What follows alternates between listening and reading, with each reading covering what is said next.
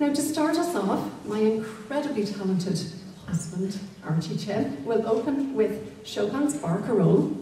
Now, this piece isn't just notes and rhythms, ladies and gentlemen, it's a portal to 1859. Imagine this 12 brave sisters of the Holy Names, young and full of life, embarking on a history changing journey from Montreal to Portland. Their modest boat, their wool habits, the curious stares, the French whispers barely breaking into English. Five weeks at sea, battling seasickness, yet unwavering in their mission.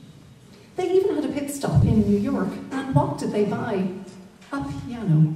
Yes, talk about dedication, right? It arrived one year later in Portland, and those tempting Florida oranges and pineapples along the way, nope. They had a vision and a mission they, that could not be swayed even by tropical delights. Now, Chopin may never have set foot in Venice, but his barcarolle captures the essence of a journey, of an overcoming, much like our sisters. His fleeting Italian encounters a stormy memory from Marseille to Genoa, all poured into this masterpiece, ladies and gentlemen. So it's about the journey, the strength, the passion, culminating in a finale that's nothing short of ecstasy. The video accompanying the piece is a serene depiction of Venice. How many have you been there to Venice? Let me see a show of hands.